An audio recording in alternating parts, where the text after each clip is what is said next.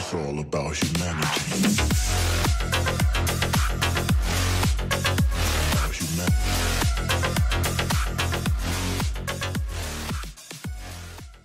Bonjour mes petits Westcrow et bienvenue pour cette nouvelle vidéo concernant notre cher Shura GC, les secrets. On va venir découvrir ensemble tous les secrets du personnage avec différents gameplay et tests. Mais juste avant de commencer cette vidéo et de rentrer dans le vif du sujet, j'aimerais vous partager les différentes informations de mon partenaire Huawei App Gallery. Nous allons avoir le droit d'avoir un cashback de 10% sur tout le mois d'octobre. Donc ça c'est plutôt une bonne nouvelle. Mais en plus, il y aura également un cashback de 15% supplémentaire pour nos chers personnages qui devront sortir ce mois-ci, qui sont Shura GC et normalement Saga Surpli. Yop tout le monde et bienvenue pour cette nouvelle vidéo concernant Shura God. Aujourd'hui on va venir regarder les secrets du personnage, comment elle fonctionne, avec qui il va faire de magnifiques combos, avec qui il va être en grande difficulté, ses counters. Et bien sûr, à la fin, on va parler également du nombre de tomes de compétences qu'il va falloir pour avoir un Shura God Close vraiment très efficace. On va bien sûr parler également des cosmos qu'il faudra avoir pour le personnage, mais je pense que vous avez déjà votre petite idée. Adepte de bugs en tout genre, je vous présente Shura GC. Ah non, dans l'intitulé, on peut voir Pandore Maréchal des Enfers. Encore un magnifique bug de GT Arcade. GT euh, Bug Arcade, hein, vous connaissez comme d'habitude. Bref, on va venir s'attarder un petit peu sur le personnage. On va regarder très rapidement les skills avec vous et voir s'il y a une différence entre la version chinoise et la version globale. Commençons tout de suite par le skill 1, le tranchant de la lame sacrée ultime. Il devrait encore faire des noms plus longs. Il y avait eu un up à l'époque. On était passé de 100% à 120% au niveau 5 de dégâts P avec des attaques supplémentaires. Ça n'a pas bougé. Sur le skill 2, ils sont pas foulés non plus. On avait eu un up à l'époque sur la version chinoise qui était passé de 100% à 120% de dégâts P avec des attaques supplémentaires. Et là, c'est également le cas pour faire clairement la différence entre le skill 1 et le skill 2. Le skill 1, c'est du mono-cible et le skill 2, c'est clairement euh, du multi-cible, voilà, de l'AOE. Alors pour le skill 3 qui va être le passif le plus important du personnage, clairement il va falloir passer ce skill là au niveau 5 si vous voulez bénéficier de tous ces différents pouvoirs. On va le lire ensemble très rapidement. Crée un bouclier qui peut bloquer 7 attaques pour Shura et améliore force dorée en fonction du nombre d'utilisation de tranchant de la lame sacrée et lame sacrée déluge ultime. Alors là on va venir tester aujourd'hui si on peut cumuler le bouclier de Chion Surplice en plus de euh, les 7 boucliers que Shura peut avoir, car dans le principe de fonctionnement, c'est exactement la même chose. On va continuer la lecture. 2. À la manche suivante, Shura Armure Divine lance tranchant de la lame sacrée une fois après avoir agi. Là, on va tester avec Hypnose pour savoir si Hypnose peut bloquer ce deuxième coup tout simplement. Quatrième fois, Shura obtient un autre bouclier et récupère 80% des PV perdus. Donc là, pareil, encore avec Hypnose, je pense que Hypnose va être son plus gros counter avec Oneros également pour le côté DPS. Tac, tac, tac. On en était où? À partir de la, manche, euh, de la manche suivante, il lance Lame Sacrée Déluge une fois au début de chaque manche et lance Tranchant de la Lame Sacrée une fois après avoir agi pendant son tour. C'est pour ça qu'il fait pas mal d'attaques à répétition. Donc c'est pour ça on va répéter une nouvelle fois Hypnose et voir si ça va venir bloquer tous les passifs ou pas. Sixième fois, Shura se purifie immédiatement. Ensuite, à chacune de ses attaques, les dégâts sont accompagnés de dégâts bruts équivalents à 8% des PV de la cible actuelle, plafonnée à 150% de son attaque. Et au niveau 5, vous débloquez la force dorée initiale. Et les versions une fois, deux fois et trois fois augmentent les dégâts bruts de 10% jusqu'à 200% de l'attaque. Concernant le skill 4 qui va être également un passif du personnage. J'étais en train de regarder et effectivement le up est toujours le M. Les dégâts de God Holy Sword ont été augmentés de 30 à 50%. C'est exactement la même chose. On va lire le skill très rapidement histoire que on se remémore un petit peu toutes les excusez-moi capacités du personnage. Au début de chaque manche, Shura euh, GC tout simplement absorbe 10% d'attaque P et d'attaque C de l'unité qui a l'attaque P et l'attaque C la plus élevée pour lui-même. Donc en gros c'est un voleur Il absorbe aussi 5% de la vitesse de l'ennemi à la vitesse la plus élevée pour lui-même et le chevalier qui est avant lui dans l'ordre des deux vitesses. Si c'est Shura qui a l'attaque la plus élevée, il débloque l'âme sacrée divine et peut contourner les immunités à la mort et à la résurrection. Un petit peu comme Shura euh, qui pouvait empêcher la résurrection. Il continue d'absorber de la vitesse jusqu'à qu'il ait la vitesse la plus élevée. La lame sacrée divine, une fois que Shura, armure divine, a infligé des dégâts à la cible principale, il lance une taillade puissante dont les dégâts sont équivalents à 20% du total de dégâts infligés. Donc en gros, vous avez pu comprendre c'était une sorte de vampire un petit peu. Il va venir récupérer l'attaque P et l'attaque C de l'ennemi, se l'ajouter à lui-même, pareil pour la vitesse, et quand il est le plus fort, il débloque une nouvelle euh, capacité qui est la lame sacrée divine.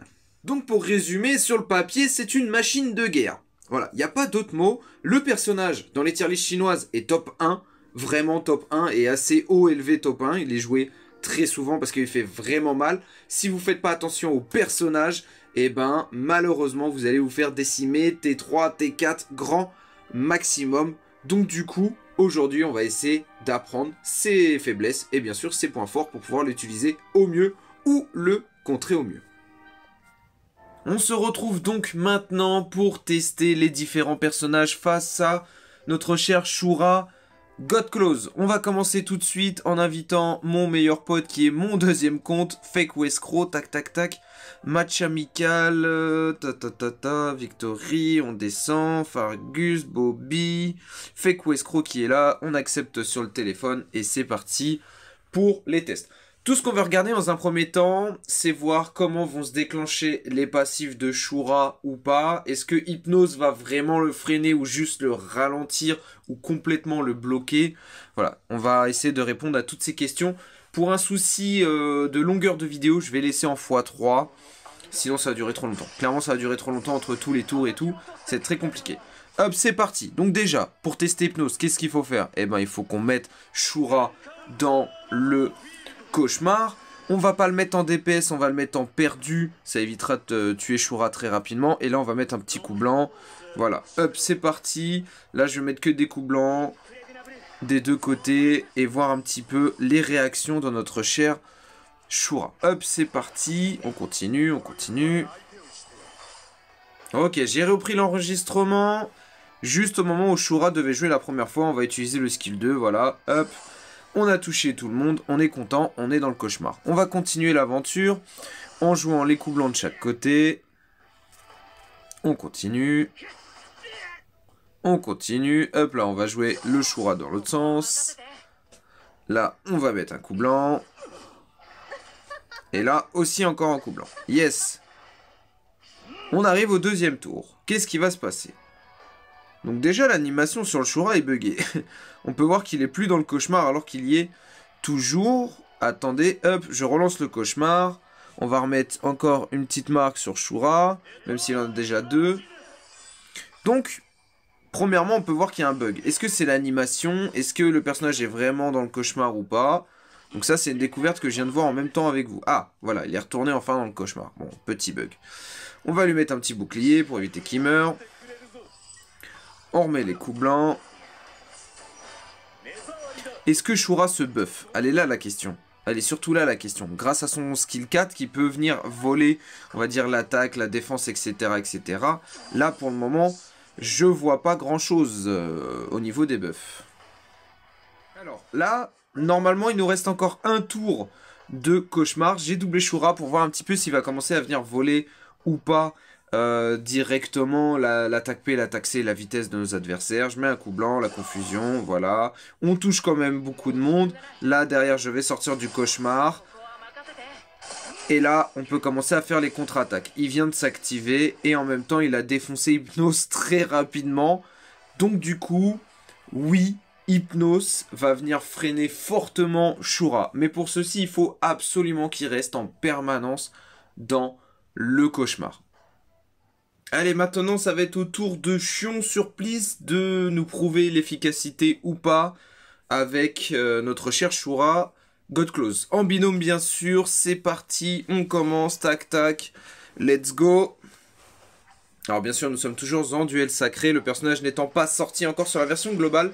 D'ailleurs, un beau rerun de Albafika.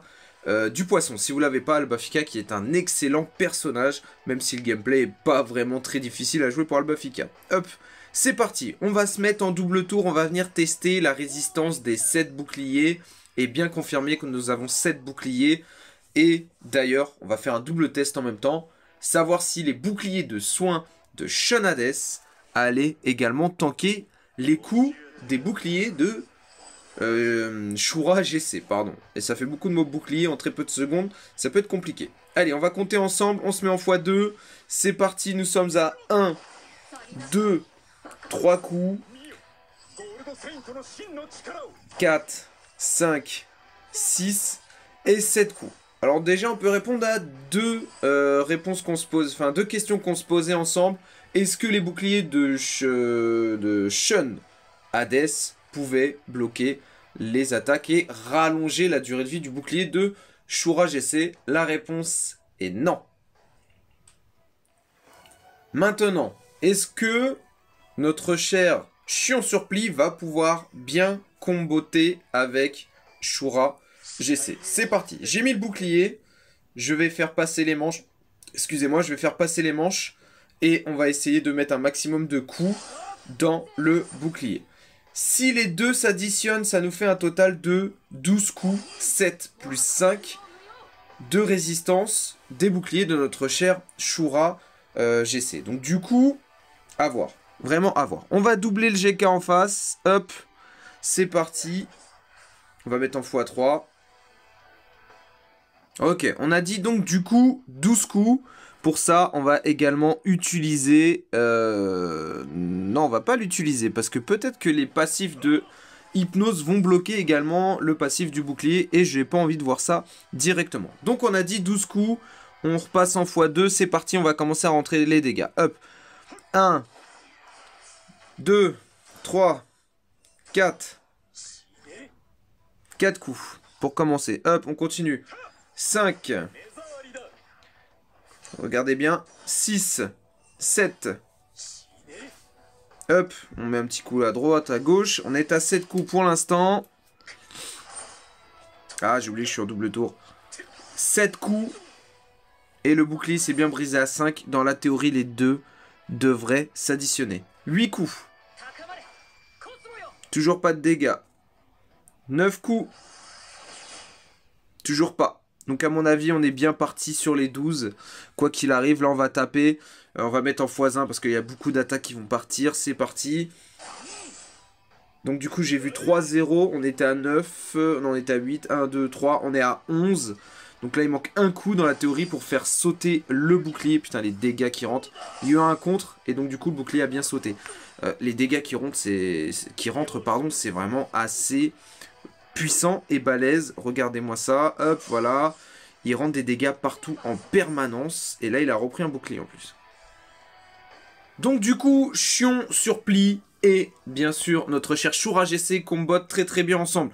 Il a également repris un bouclier, donc du coup on peut lui donner euh, de la tankiness et de la survivabilité vraiment assez énorme si vous jouez Chion surplie et bien sûr euh, Shun GC avec un Shun Hades. Là vraiment vous allez tanker de ouf et avoir un personnage destructeur comme Shura, euh, comme Shura GC tout simplement dans votre équipe. Et ça va être vraiment très intéressant. Donc du coup oui, Chion Surplis c'est un très très bon personnage à accompagner avec Shura GC. Bon je vais arrêter de vous laisser en attente comme ceci et de vous faire languir. Oui on va tester tout de suite Oneros avec Shura GC, à voir si ça combote bien ensemble. Et dans l'optique, est-ce que Oneros va venir contrer Shura? GC On va avoir la réponse tout de suite, c'est parti. Je vais mettre en x2, en x3 même, le temps de passer premier tour. Hop, c'est parti. Ça faisait bien longtemps que j'avais pas fait les secrets d'un personnage. Euh, pourquoi je suis en auto de mon autre côté? Hop là. Excusez-moi, je suis parti en auto. Ça faisait bien longtemps que j'avais pas fait une vidéo sur les secrets d'un personnage. J'aurais dû faire Oneros, mais malheureusement, j'avais pas énormément de temps. Donc euh, là, je suis très content de faire le test de Shura. J'essaie, même si entre nous, il n'y a pas énormément à dire, mais quand même, il y a 2-3 petites euh, subtilités intéressantes pour le personnage. Hop, c'est parti. Les coups blancs, on continue, on continue. Là, on va juste venir protéger Oneros, qui reste un personnage quand même assez sensible. Euh, là, écoutez, on va mettre une attaque globale. Voilà, comme ceci. Hop, là, on va venir protéger le Shura de l'autre côté. D'ailleurs, on va venir le doubler. Et on va regarder ce qu'on va faire. Hop, alors déjà, attaque générale. Et ensuite, une autre attaque directement, voilà, comme ceci. Et là, on est bon pour attaquer avec Oneros. Voilà. Alors, on va mettre la marque d'Oneros sur choix. Oneros, il fait quoi? S'il met une marque sur un personnage, il va venir bloquer complètement son DPS. Si Oneros est protégé, la game euh, va être très compliquée pour les personnages qui vont faire du DPS après avoir joué, tout simplement. Donc du coup, une fois que notre cher... Euh, excusez-moi, j'ai perdu, j'ai vu Pandore, Maréchal des Enfers, ça m'a perturbé. Une fois que notre cher Shura euh, est activé, il va faire des dégâts en dehors de son action de jeu. Donc du coup, dans la théorie, ça devrait être assez, efficace. On continue, les coups blancs, patati patata. Là c'est bien, j'aime bien ce type de vidéo parce que je suis en train de tout faire en direct, indirectement, mais euh, en gros je suis en live. C'est parti, on continue les coups blancs. Là, voilà, c'est juste ces petits coups blancs pour faire la petite démonstration. On va remettre un coup là. Excusez-moi. On va venir redoubler le Shura. C'est parti. On fait des dégâts nulle part. On remet une nouvelle fois pour bien vous montrer en zéro. Des dégâts nulle part. Et vous avez vu le nombre d'attaques qui partent. Dégâts passifs, il n'y a rien qui part, il n'y a que Oneros qui prend cher. Donc oui, Oneros est clairement le plus gros contre de notre cher Shura, mais ça je pense que vous l'avez déjà deviné. On continue dans les tests, là on a pu voir que Oneros le contre totalement, Chion, Surplice est son meilleur pote, Hypnose va venir bloquer tous les dégâts passifs uniquement du personnage. Il ne va pas le bloquer totalement, il va seulement le ralentir. Donc, voilà, pour l'instant, le contre ultime du personnage va être Oneros. Mais vous avez vu toutes les patates qu'il va venir envoyer. Là, maintenant, on va venir tester un petit peu le côté DPS du personnage. Attention, nous sommes en duel sacré. Les stats sont biaisés, vous le savez. Vous connaissez le principe de fonctionnement du duel sacré. Mais ça nous permet quand même de voir un petit peu de gameplay du personnage de le tester, etc. etc. Donc moi, j'ai envie de tester maintenant, hop, on va passer en x3 avec Pandore Trident. Pourquoi Pandore Trident Tout simplement pour voir un petit peu les dégâts qu'on va pouvoir venir rentrer dans le personnage. Tout simplement. Hop Donc là, avec notre chère rune, on va venir booster le Shura Surplice. Ça va nous donner du critique. Derrière, on va mettre un petit coup de boost à la Pandore. Voilà, comme ça on gagne un peu de temps. Là, un petit coup blanc. Deuteros peut être très sympa avec euh, votre Shura pour lui donner beaucoup de vitesse d'un coup. Ça va vous euh, permettre également de bénéficier euh, des bonus et d'activer directement la lame sacrée divine. Pourquoi? Parce que vous avez atteint la vitesse maximale devant votre adversaire. Et en plus de ça, ça va vous permettre vraiment de faire un Shura de baleine et en mettant de l'attaque P, de la pénétration, etc. etc. Hop, euh, on va mettre le Shun GC transformé. Là, on va mettre un petit bouclier ici pour éviter que... Voilà. Derrière, on booste encore le Shura. Le Shura, on met un coup ici. Voyons voir un petit peu les dégâts. Voilà. On a presque midlife toute l'équipe adverse. D'entrée de jeu. Hein. Et nous sommes en duel sacré. J'ai fait une attaque. Juste comme ça. On va continuer. Bon, après, c'est une équipe qui est pas jouable. Hein. Je vais pas vous mentir, l'équipe, elle est pas très jouable, à part si vous, avez un compte de baleine. Mais il y a moyen quand même de faire quelque chose. Excusez-moi. Donc là, on continue. Je mets des coups blancs. On met des coups blancs. Là, on va garder l'énergie. On va recommencer une nouvelle fois la transformation. Hop, encore un coup blanc. Le Doko va encore rebooster le Shura. Ah, mon Shura, il a pris de la vitesse comparé à la Pandore. C'est vrai qu'il va venir voler la vitesse de ses adversaires. C'est pas grave. Hop, on a remis un coup blanc. Et là, oh là là, les dégâts que ça rentre, mais c'est hallucinant. Euh, ce qu'on va faire, c'est qu'on va échanger la vitesse avec Shura pour le ralentir. Comme ça, il va repasser derrière dans la théorie Pandore. Et là, la Pandore, on va mettre directement, hop là, la transformation. Et là, on va mettre un petit coup blanc. Voilà. Vous avez vu la puissance du bordel quand même, c'est abusé. C'est vraiment abusé. Allez, c'est parti. On remet un coup. Hop. Oh là là, les dégâts qui rentrent, c'est... C'est hallucinant. Franchement, mais franchement, il explose tout très rapidement.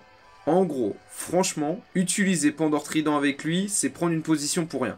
Il rend tellement de dégâts que vous n'avez pas forcément besoin de tester Pandore Trident pour faire plus de dégâts. Mais là, euh, waouh, moi le personnage m'impressionne. En toute honnêteté, le personnage m'impressionne. Maintenant, on va faire un test avec une team que j'aime beaucoup, c'est la Artemis Sacha, que je trouve franchement assez puissante. Mais là, avec Shura, qu'est-ce que ça va donner? Bon, pour un souci, euh, on va dire, de tankiness, j'ai laissé Ulysse dans la compo, qui est RC maintenant sur mon compte. Hop, c'est parti. J'ai mis GK pour les... Excusez-moi, pour les doubles coups. Et bien sûr, euh, un petit coup de Doko GC, qui reste quand même mon personnage préféré. Bref, la team, là, elle est un peu compliquée, pas viable, mais je voulais voir un petit peu au niveau des comptes comment ça allait se passer. Hop. Vous le savez, Sacha va venir poser euh, des buffs sur ses alliés et ces buffs là vont vous permettre soit de ressusciter si vous en avez 4 soit directement de contre-attaquer. Hop c'est parti. Vous connaissez le personnage. Excusez-moi hein, j'arrête pas de tousser j'ai un peu la crève en ce moment. Allez on continue on continue. Allez on met le terrain de Sacha. En plus Sacha amène de la tankiness hop on continue. Voilà. Là, on va venir taper dans le Shura pour venir casser son bouclier. Hop, c'est parti. Mais du coup, on va lui rajouter des cumuls. Hop, il va venir commencer à contrer. On va booster le Shura. Là, on va mettre un petit coup blanc. Ah, j'aurais dû taper dans le Shura. Et vous avez vu, on contre à chaque fois. Et ça, c'est pas mal. Hop là. Ça y est, nous sommes activés. J'aurais dû utiliser le coup blanc. J'ai fait une erreur, c'est pas grave. On continue. Ok, on tape dans le Shura. Donc là, il commence à être pas mal en forme. On continue. Ok, c'est parti. On est reparti une nouvelle fois. Hop, double tour Artemis. Quand je vais lancer de l'AOE, normalement, là, ça va être une boucherie. Le Shura, notre Shura, il va tellement rentrer de dégâts. Vous allez voir. Là, coup blanc. Donc tout le monde va attaquer normalement. Voilà, voilà, voilà. Et là, regardez, le Chenades va disparaître de la terre. Normalement. Non, pas encore. Ah, ça n'a pas rentré assez de dégâts. Coup blanc. Encore coup blanc. Là, on va rentrer un peu de dégâts. ça contre. On booste notre Shura. On va venir taper un peu dans le Shura. Il a 4 cumuls, donc du coup, 4 euh, cumuls de constellation, ça veut dire qu'il peut ressusciter. Donc ça, c'est vraiment une bonne chose. Hop, premier coup blanc ici. Hop là, un mort. Ensuite, on continue. Deuxième coup blanc sur le Shura. Allez, on est, on est des oufs, on attaque à fond. Les dégâts quand même. Franchement, les dégâts qui rentrent, c'est On continue. Ok, un tour de table. On attaque tout le monde. Ça contre. Alors, par contre, on vient de remarquer une chose. Quand vous utilisez Sacha, si vous faites une AOE euh, sur une, team ennemie avec Sacha, eh ben, seul le personnage que vous allez viser avec l'AOE de Shura va venir contre-attaquer. Donc ça, c'est assez intéressant de le souligner. Et assez important d'ailleurs. Hop, c'est parti. On va remettre les terrains pour gagner du temps, voilà. On remet le terrain de Sacha. Magnifique. On va venir rebooster Shura. Shura qui commence à être bien rapide. Encore un coup blanc. Et là, on va mettre des coups blancs dans le hypnose. Comme ça, en même temps, avec cette partie de vidéo, on peut se poser la question est-ce que ça vaut le coup de jouer Artemis avec Shura? Il y en a plein qui disent oui, il y en a plein qui disent non. Allez, on met que les coups blancs, c'est parti. Un coup blanc, on touche tout le monde. Il s'est réactivé, encore des coups blancs, c'est reparti. Il s'est encore réactivé. Un autre coup blanc. C'est parti, encore les coups, etc., etc. En vrai, de jouer Shura en double coup blanc Artemis, ça peut être bien, mais je pense que le mieux c'est de le jouer avec Shun et vous vous alternez entre le skill 2 et un skill 2 et un, enfin 1 et 2, 1 et 2, comme ça vous consommez pas de points d'énergie. On va se poser notre question juste après, est-ce que Artemis et le retour sur Shura est une bonne chose? On va répondre à ça tout de suite, c'est parti, là on va essayer de faire un peu de dégâts avec Shura. Il contre. Derrière, on met un deuxième coup en AOE. Le mieux, c'est vraiment d'alterner coup 1, coup 2, coup 1, coup 2, coup 1, coup 2. Vraiment très important de faire ça. On va venir protéger Shura. Hop, de toute façon, on va le remettre en arrière. Voilà, il commence à rentrer pas mal de dégâts. Les contres aussi rentrent des deux côtés. Encore un coup blanc là. Désolé, c'est un peu long quand c'est en double tour. Hein. Allez, allez, allez. Ok. Euh, tac, tac, tac, tac, tac. Le retour en arrière de Shura. Est-ce qu'il va venir récupérer son bouclier? On va voir ça tout de suite. On a mis en x1. Normalement, oui. Il a récupéré son bouclier. Il a perdu juste tous ses cumuls euh, de défense. On va lui mettre un coup blanc, vous allez voir mais il a quand même récupéré euh, tous ses cumuls. Euh, tous ses cumuls, tous ses boucliers, et ça c'est pas forcément une bonne chose de le remettre en arrière, car en fait euh, ça va le rendre un peu plus tanky plus longtemps.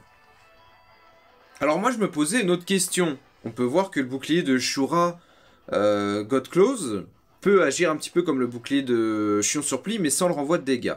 Si je lui mets la marque de Thanatos, s'il joue en double coup, et qu'il a le bouclier, est-ce qu'il va prendre des dégâts quand même ou pas? Hop, c'est parti. Je le mets en double tour. On va répondre à ça tout de suite. Euh, je vais pas lui mettre le bouclier. Je vais mettre là-bas le bouclier. Voilà. Donc là, c'est parti. Je mets un coup blanc. Donc dans la théorie, il me reste encore un tour. Le Tana qui pète. J'ai toujours le bouclier. C'est parti. Donc là, dans la théorie, je prends l'œil. Mais voilà, vous n'avez pas de dégâts grâce au bouclier. Et ça, c'est quand même une très bonne chose. Voilà les Westcro, on a fait pas mal de tests, mais après, si on continue à en faire euh, de plus en plus, eh ben la vidéo va durer 15 heures et c'est pas le but du tout. Dites-moi dans les commentaires quel personnage vous avez testé en combo avec notre cher Shura GC. En tout cas, moi je suis vraiment très hypé par ce personnage et le duel euh, Shura GC versus Saga Surplice va s'annoncer vraiment très difficile, mais on va quand même faire la vidéo et rester le plus objectif possible. Bref, comme d'habitude, un petit pouce bleu, un abonnement si c'est pas déjà fait. Je vous dis à très bientôt les Westcrow. Salut la famille. Ciao ciao